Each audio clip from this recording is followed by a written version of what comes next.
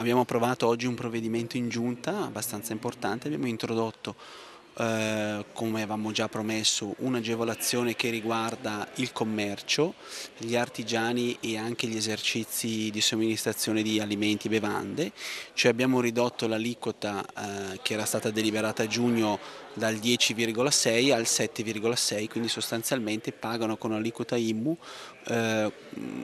con l'aliquota base stabilita direttamente dalla norma statale. Abbiamo dovuto in effetti definire eh, delle, qualche punto a vantaggio del commercio e degli artigiani disposti in città all'interno eh, di determinate metrature. E con questo abbiamo voluto favorire i negozi di vicinato, proprietari delle loro attività e quindi eh, diciamo, contribuenti per quel che riguarda l'IMU ed è un risultato molto molto positivo considerando che è, stato, che è un, un sacrificio importante per l'amministrazione comunale.